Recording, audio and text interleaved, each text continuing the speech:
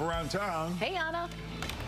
Good morning. As you all know, we're part of the Nexstar family, and they have this great event for the last 26 years where uh, you can volunteer as uh, an employee on a day in a day of caring. It's called Founders Day of Caring, and so we have two choices today. We can go to the Greater Chicago Food Depository. That's where I am, or you can donate blood at WGN in our studios.